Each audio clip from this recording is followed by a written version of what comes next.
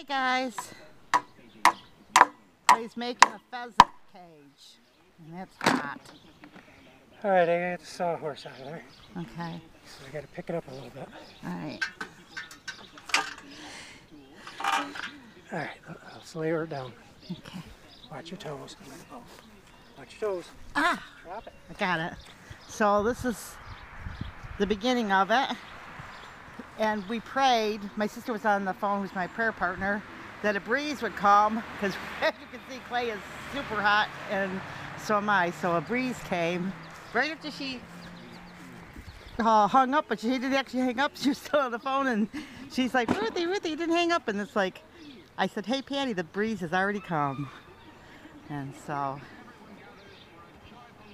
and it's kind of an exciting day because I got the email this morning. I'm not going to say any details because we are a potential winner and kind of a big contest. So I'm very excited because they're going to um, talk to me hopefully today or get tomorrow. the car out of here so I can see where this is square.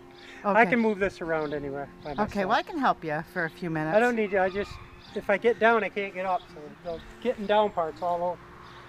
I can do everything standing now. So he's got to move the car, but we're later today or tomorrow. We're waiting.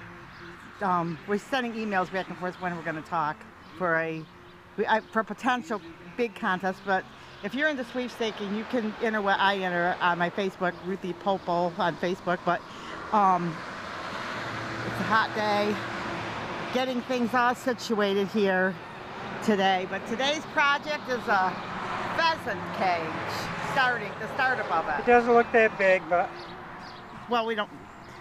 They We- don't need a monster cage. No, we don't want to make it too big either. Place to get out in the sun and Yeah, place to get in out of the wind. exactly. So that's what's going on. Just a short little shorty video. So like, subscribe, and we'll see you guys in the next video. Take care.